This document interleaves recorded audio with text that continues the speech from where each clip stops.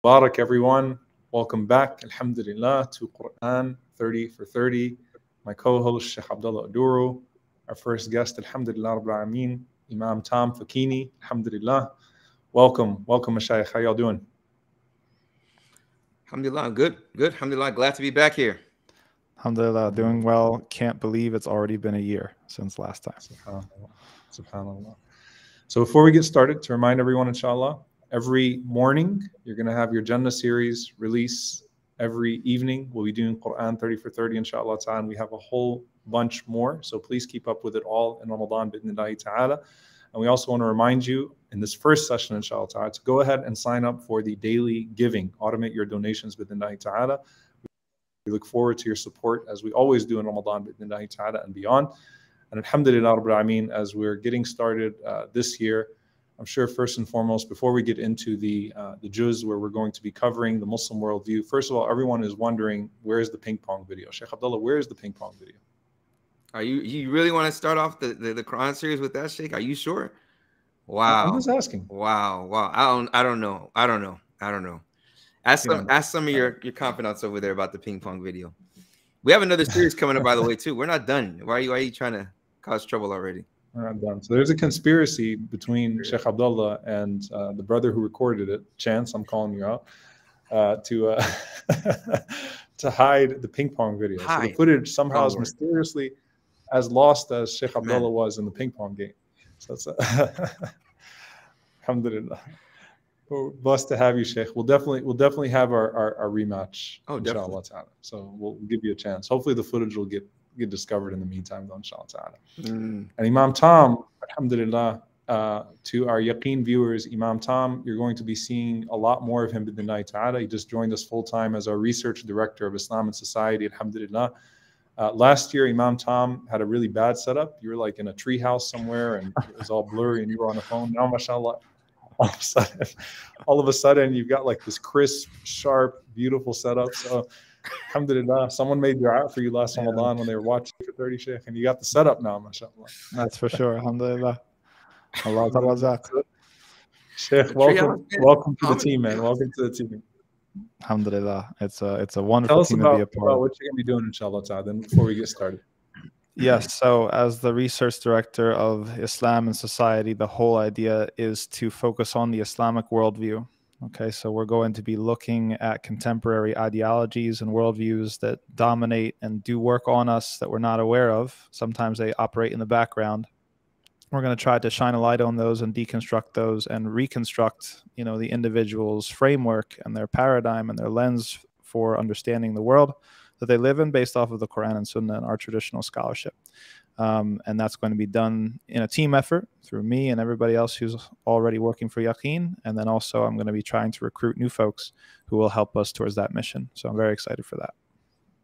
Inshallah ta'ala. And that is our um, in fact, theme for this Quran 30 for 30, bidnillahi ta'ala, is the Muslim worldview. So every year we have a theme. We just had the book come out for last year's Judgment Day series, co-authored with Sheikh Ismail Kamdar, alhamdulillah. So please do download it if you haven't already. But this year we're going to be looking at the Muslim worldview, inshallah ta'ala, and that's going to be the theme as we go through juz by juz. And I'm very excited about that, bidnillahi ta'ala. Uh, Sheikh Abdullah, I gotta, there's got to be a joke before I start. One more thing. It's got to be a gym joke. So we just got back from Umrah, so I want to see if you can figure this out. Then I'll start, inshallah. Ta'ala. So, Sheikh Abdullah, what do you call oh. someone in the gym who stays on the cycle? It's always on the bike. Someone in the gym that's always on the bike? Yeah. Call him a psychopath, Sheikh. A psychopath. Huh, okay. Okay. Tom, what, you, what do you think about that one? you, there we go. I got a face palm. Um, Tom, I wish Tom's camera would quit your day job. Would have spared me the embarrassment of how that joke didn't land. You know, it would have been better. Maybe we could have gone back Tom's old setup. Khair, inshallah. All right. That's a dad. Well, at least we got you a smile. That's granddad joke. That's a granddad joke. Okay. I'll try to yes, do better sir. tomorrow, but not China. Please. All right. Bismillah. So, shall we get started? Alhamdulillah. Alhamdulillah wa salatu wa salamu ala rasulillah wa ala alihi wa sahbihi wa man wala. On a serious note, we're very happy to have you all back. Alhamdulillah. And as I said, the Muslim worldview. So, subhanAllah, every time you read the Quran, it gives you something new.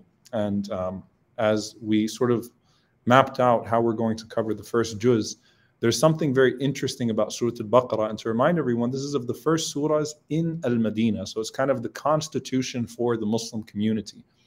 And one of the things that you start to see are the broad categorizations that manifest themselves in very specific behaviors throughout the surah. So I want you to pay attention to this bidnai ta'ala.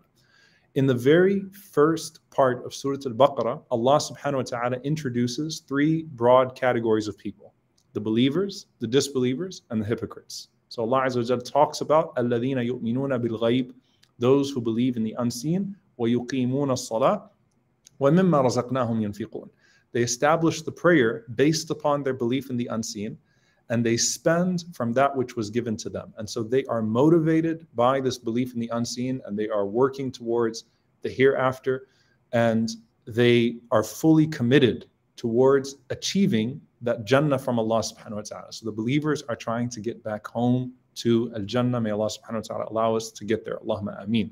And they believe in the unseen as if they can see it. Then Allah talks about Al Kafirin. And Allah says about the disbelievers, أَأَنذَرْتَهُمْ أَمْ لَمْ تُنذِرْهُمْ لَا يُؤْمِنُونَ Whether you warn them or not, they will not believe because they have seals on their hearts, which Sheikh Abdullah inshallah ta'ala is going to talk about what those seals are. But they're people whose motivations are preventing them from having a pure creed and a pure strive. And so the problem is not in the lack of proof, of intellectual proof for them to believe the problem is that they're pursuing something other than belief. So, how can belief fill their hearts? Then Allah subhanahu wa ta'ala mentions the hypocrites. وَمِنَ النَّاسِ مَن يَقُولُ آمَنَّا بِاللَّهِ وَبِالْيَوْمِ الْآخِرِ And from those who say we believe in Allah and the day of judgment, وَمَا هُمْ بِمُؤْمِنِينَ And they are not believers. So Allah Azza wa talks about the hypocrites. So these are people who do not make their disbelief obvious. They are so intoxicated by their pursuit of this world that they will use belief they will even stoop to the level of using the cover of belief to pursue this world, to pursue this material world. So they are the worst of the three categories. SubhanAllah, there was something really interesting that I only noticed uh, this time around about the next categorization. So you got the believers who have a pure pursuit and a pure creed. You have the disbelievers who have an impure pursuit, therefore they have an impure creed. And you have the hypocrites whose pursuit is so impure that they will even use the purest cover of belief in order to maximize their pursuit of this dunya. But subhanAllah, pay attention to this. On the same page in Surah Al Baqarah, Allah subhanahu wa ta'ala introduces three categories of species of existence. Allah introduces the angels, the jinn, and human beings all on the same page. And that is where Allah subhanahu wa ta'ala mentions, وَإِذْ قَالَ رَبُّكَ لِلْمَلَائِكَةِ إِنِّي جَاعِلٌ فِي الْأَرْضِ خَلِيفَةً that when your Lord said to the angels that I am placing a successor on this earth, I am placing custodians on this earth. And of course, the word Khalifa has various translations here that we won't get into uh, in particular, but you are stewards of this earth. Inni ja'ilun fil ardi khalifa. So Allah subhanahu wa ta'ala is telling the angels, and this is the first time we're introduced to them, right, in the Quran, about the creation of human beings, and this is the first time we're introduced to them, right, in the Quran.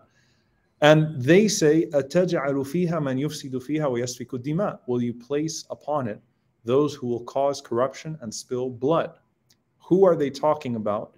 They are saying that because, as the Mufassirun mentioned, those that preceded us as being caretakers or having that will on this earth were the jinn, and they led themselves astray and they ended up causing corruption and spilling blood.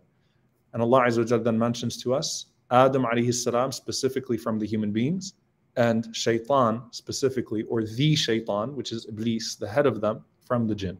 So subhanAllah, angels, human beings, jinn, specifically from human beings, Adam salam, specifically jinn, uh, or specifically Iblis from the jinn, are all introduced to us on this one page in the Quran. So you have a new categorization. Now, this is page six, by the way. So, page six, a new categorization. Now, here is the way that we break them down in terms of their, their approach here. Angels obey Allah no matter what. So, whether they understand or they don't understand, angels obey Allah subhanahu wa ta'ala lovingly. لا يعصون الله ما أمرهم ويفعلون ما يؤمرون. They will not disobey Allah subhanahu wa ta'ala when He commands them.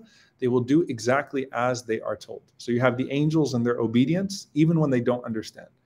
You have human beings who fall to desire, and you have shaitan who tempts them to destruction. Okay?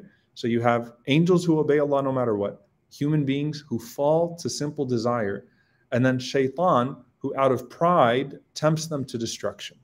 All right? So you have a new categorization. And then, subhanAllah, you get into the human prototypes, which bring together the first categorization with the second categorization. You have the hypocrisy of Bani Israel, right? Who have an impure pursuit, or a large section of Bani Israel, an impure pursuit. And so they use the creed for that. You have a satanic human being in Fir'aun, okay? You have a satanic human being in Fir'aun whose pride leads him to destroying himself and seeking the destruction of the believers.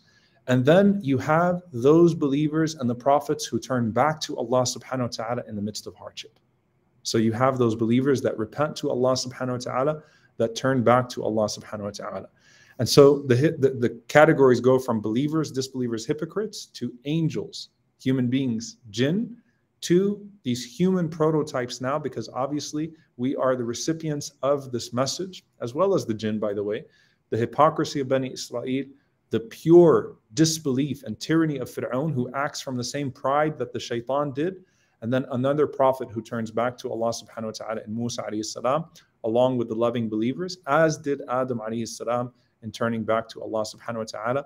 Lastly, the questioning of Bani Israel, right? The questioning of Bani Israel is not like the questioning of the angels, right? So the angels Ask Allah subhanahu wa ta'ala, أَتَجْعَلُ فِيهَا مَنْ يُفْسِدُ فِيهَا وَيَسْفِكُ الدِّمَاء Oh Allah, are you going to place in this earth a people, an existence that will spread corruption, spill blood? Now, when they said that, they were saying that for various motivations.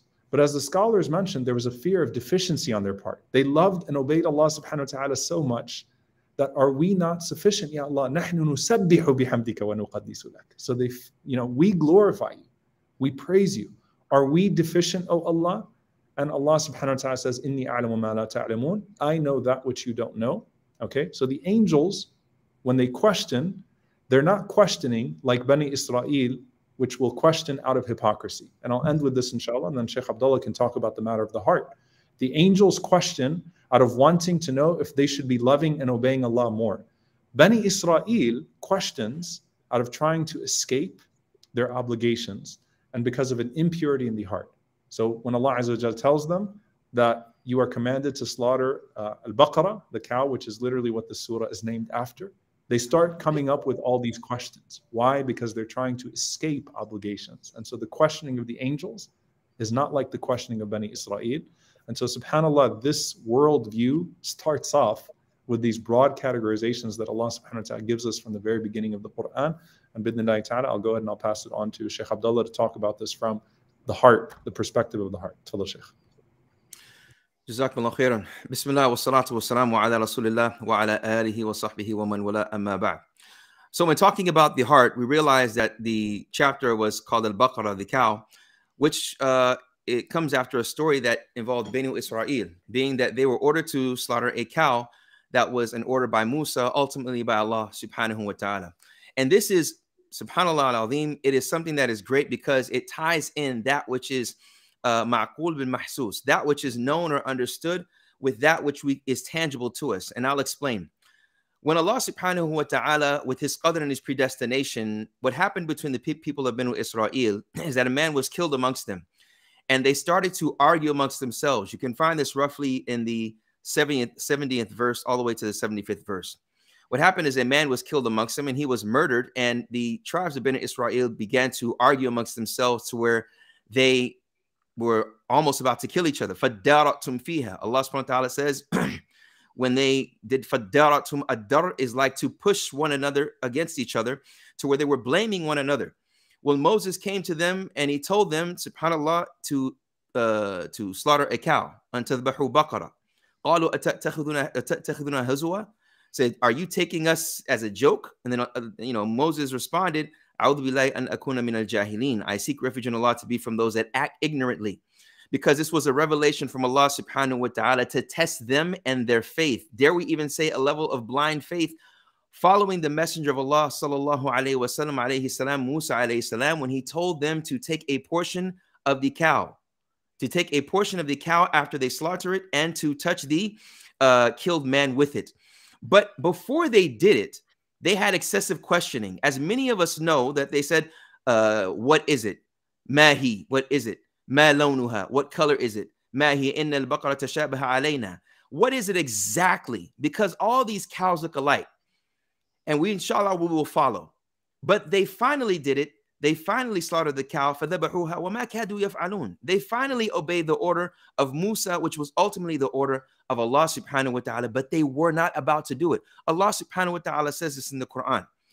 Now, when Moses ordered them to do this, subhanAllah, it was told to them that, you know, in the tafsir, who the killer actually was.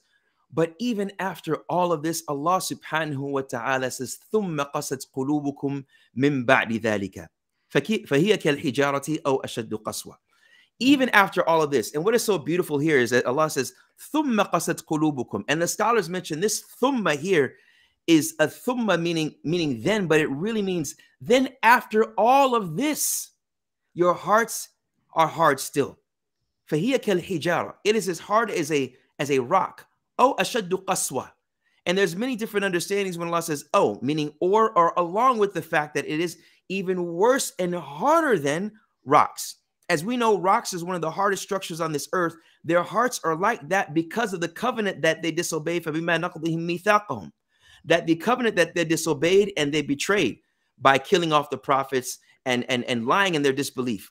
But here, subhanAllah, Allah is saying after these ayat of Allah subhanahu wa ta'ala was shown, as he mentions in these earlier verses, an ayah. Imagine slaughtering a cow, taking a portion of it, placing it on the dead body. They wake up and they say who the killer was. After these ayats, these signs of Allah subhanahu wa ta'ala, showing that you he, he's an alt, showing you that he is an ultimate control, the hearts were still hardened after that. Then Allah subhanahu wa ta'ala gives the comparison of some of the scenarios of the rocks, which, as some scholars say, these rocks, even though they're the hardest structures on the earth or of the hardest structures on the earth, they still get compromised by the water. And then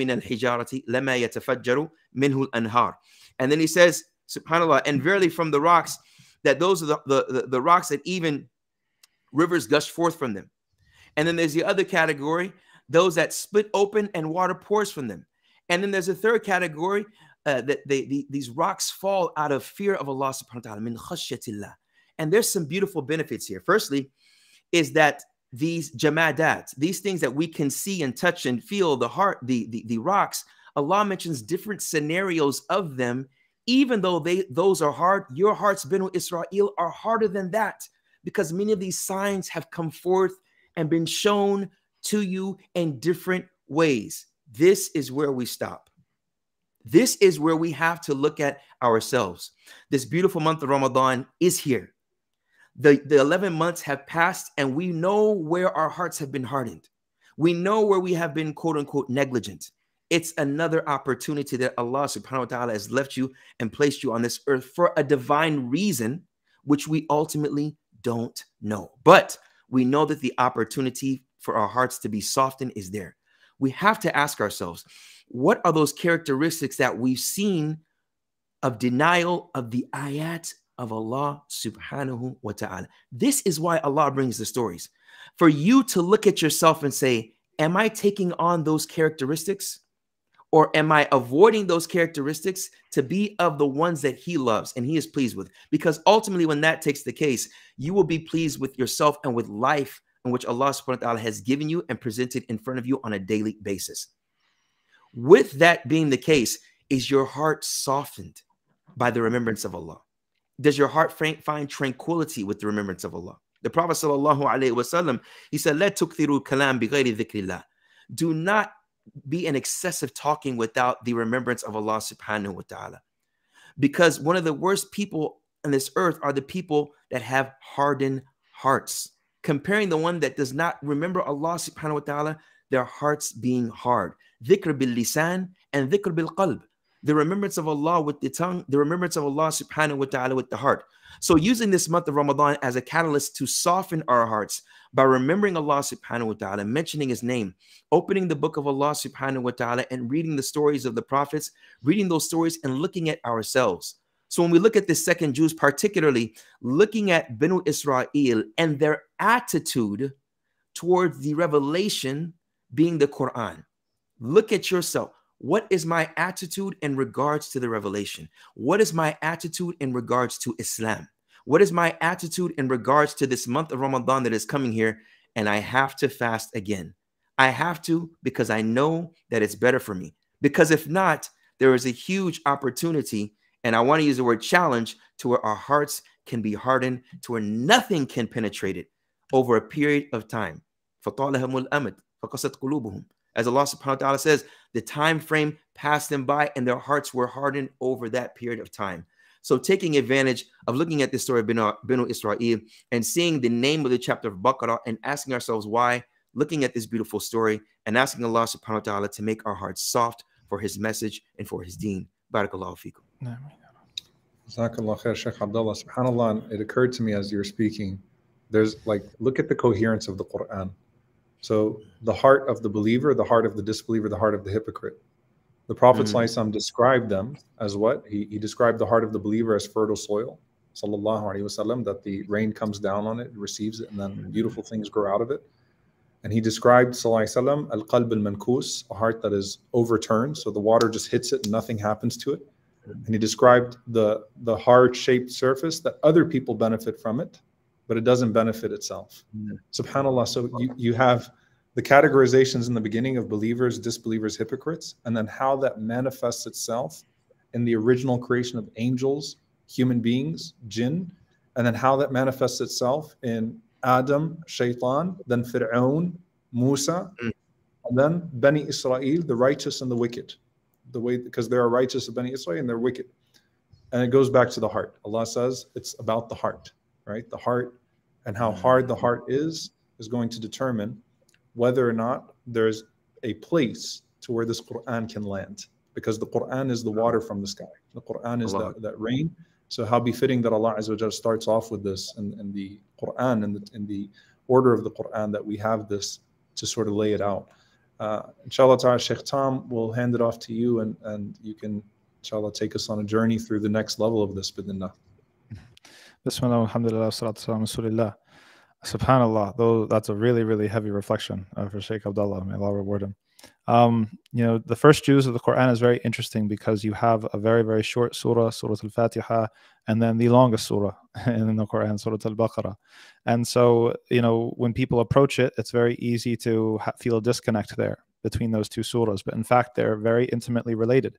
In fact, Surah Al Fatiha actually ends on a cliffhanger right? We ask Allah subhanahu wa ta'ala to guide us on the right way, the way of the prophets, those who were certain we're certain that Allah subhanahu wa ta'ala has blessed them. And then we ask Allah subhanahu wa ta'ala to not let us go down the path of two types of people the people who have earned Allah's anger and the people who have been let go astray.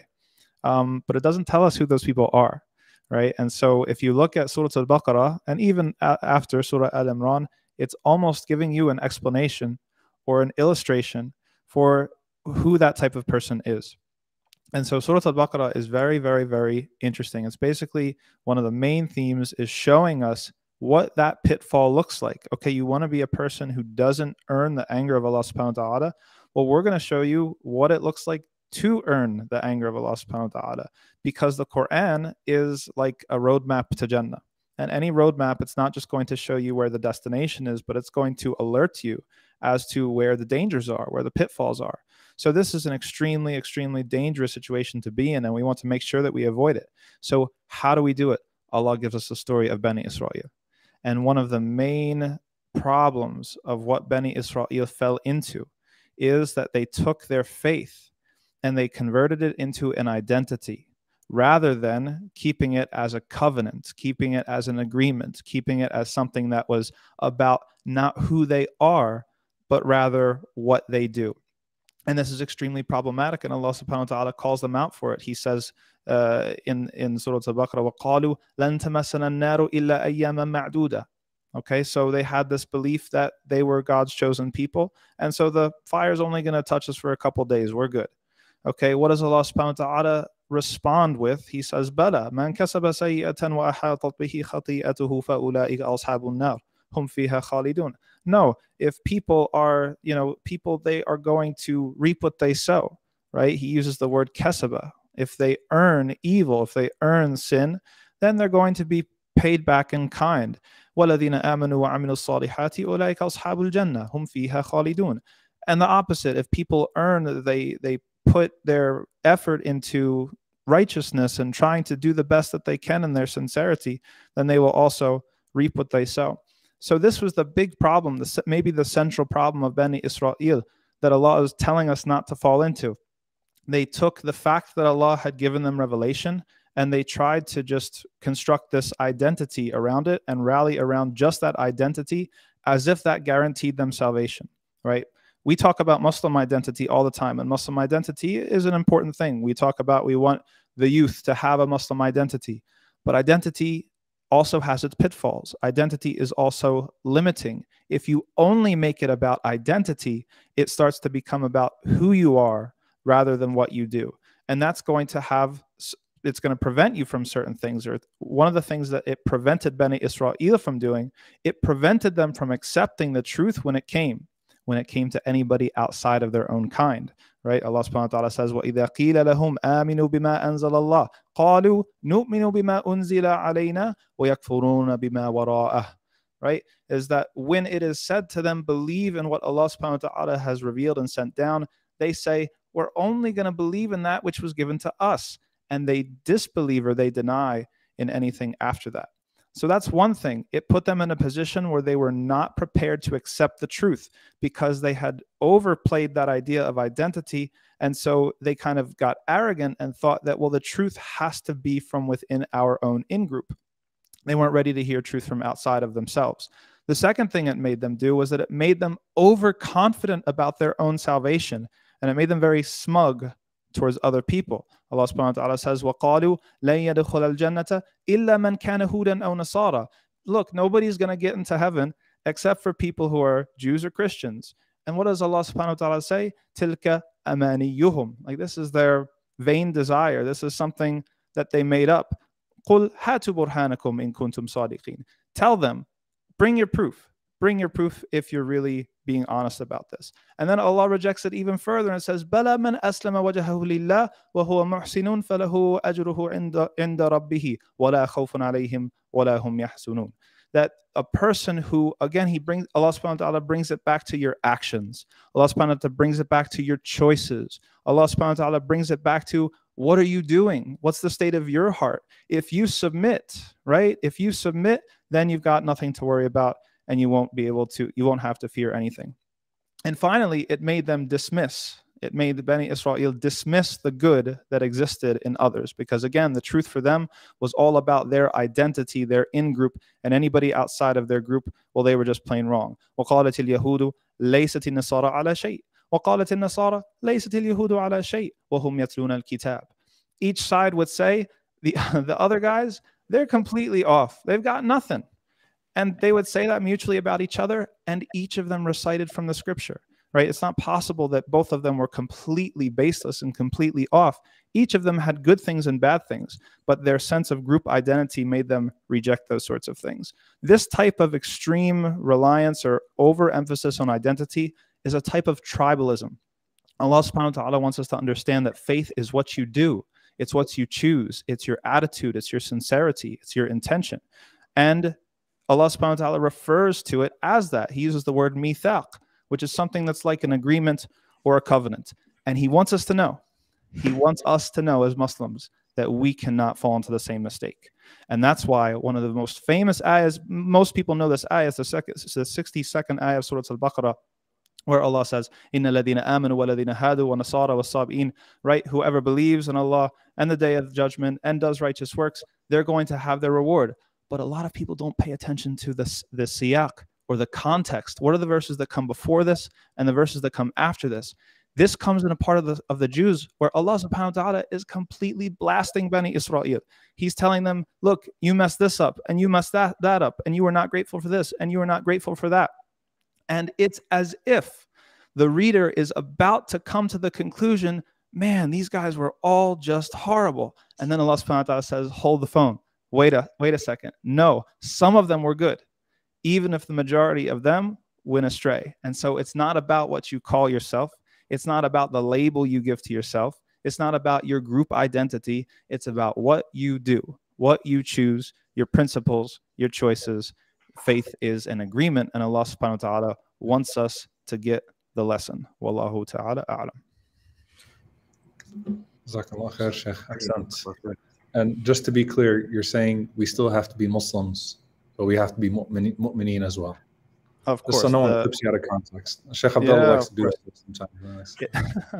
no, it has to mean something. That's the thing. Of course, we have to, to be Muslims, but being a Muslim has to mean something. We can't just be Muslims Absolutely. in name only. That's oh, okay, okay, okay. now he gets it. Sheikh, a, yeah. a powerful, subhanAllah, reflection uh, I think that that you just brought forth is, you know, Bani Israel was also manifesting then something of the shaitan too right? Because Iblis felt like, wait a minute, uh, you made me from fire, you made him from dirt. I already got to this place. I already am chosen by Allah to be in this place. Who's this guy that comes out of nowhere, right? Who's this this person that's going to suddenly get all of this?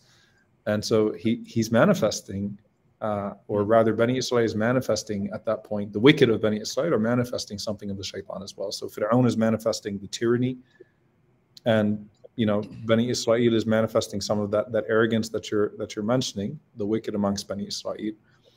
And I think subhanAllah, it's it's, it's very profound because, you know, oftentimes our anger with a zalim, with a tyrant, uh, is from this place of like we would never do that if we were in, we were in their position. Mm-hmm. But if the heart is diseased, mm-hmm. then the only thing missing is that that person sits on a throne and you don't that person has the power to act on their disease and you don't.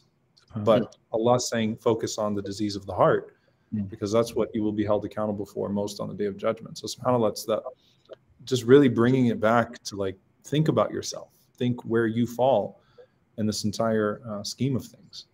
And I, I want to give you, you know, both a chance, inshallah, to share sort of a final reflection. Then we'll go ahead and close it off with the uh, just uh, going off of that, yeah, I mean, it's almost like a theological shortcut, right? It's like the nefs wants wants to to cheat on the exam, right? We don't want to have to put in the work, and so if we can make our salvation about something that I didn't choose, right? Whether it's my skin color, whether it's my my lineage, whatever, and I can convince myself that well, this is what's going to get me into paradise, or this is what's going to bring me success in the afterlife then I kind of I've gotten out of the work. I don't have to put in the work, mm. right? And Allah Subhanahu wa Taala is trying to say, you know, no, it's not about these things that are unchosen, right? You have to submit, right? The name of our deen is Islam.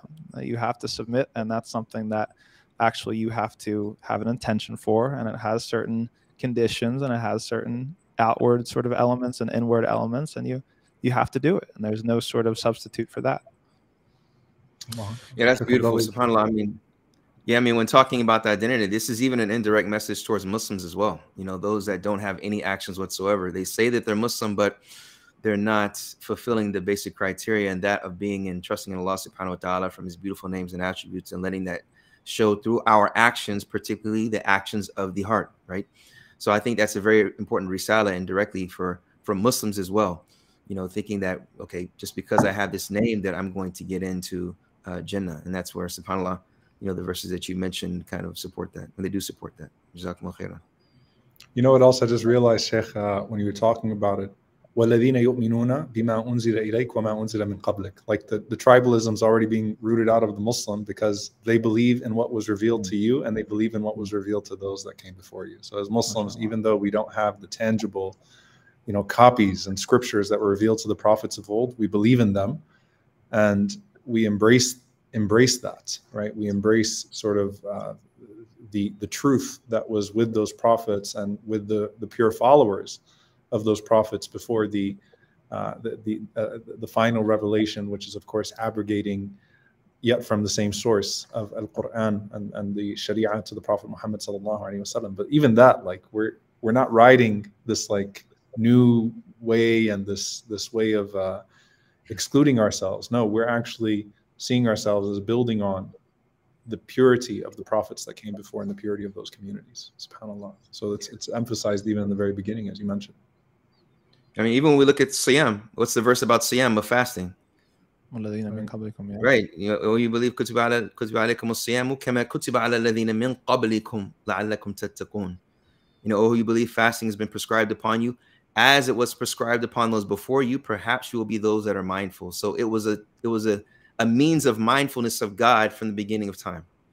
You know, subhanallah, it's amazing, amazing thing. And you can imagine like the the effect on the psychology of the Muslims living in Medina now with people of the book. And this is also introducing Islam to to the people around them as well, right? That we're we're, we're a community that follows the true way of Ibrahim alayhi salam and mm-hmm. that implements the, the true way of Ibrahim alayhi salam. And subhanAllah, this is this is in the first years of Medina, the surah is being revealed to set the tone of what this faith community is all about.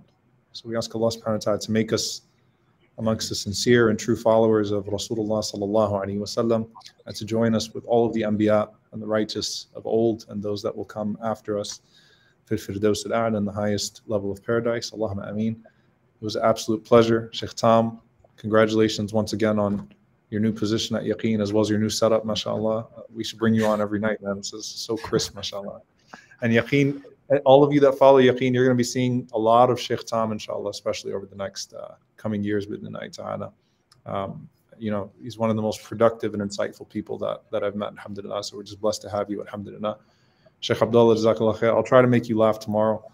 Sorry about, I apologize for my joke being uh, so poor. Um, yeah, inshallah, yeah. I'll try to, I'll try to do better tomorrow. I'll get back to the books of tafsir, see if I can come up with something to, to actually, yeah, stick, you know, get you yeah, stick with those books, Sheikh. Yeah, you know, we'll see in the comments what people think about the joke, inshallah. But we already have a general idea. You saw Tom's face. Kicking that off down, right? Ramadan hasn't started yet, right? You want to get your last shots in? Is that what's happening? Uh, no, no, no, no. I'm good. I'm good. I'm good. You'll shoot yourself in the foot, so it's okay. it's gonna be a long, a long month with you, Sheikh. It looks like you're coming, you're coming ready to throw those punches. I'm ready, Sheikh. Chance has something in the chest, so he's, he's ready. Just wait. Watch Instagram stories. Allahumma zib barak. Jazakallah khair, everyone. Reminder to follow us, inshallah, with the Jannah series with 30 for 30 every night, the khatiras from Taraweeh, and so much more.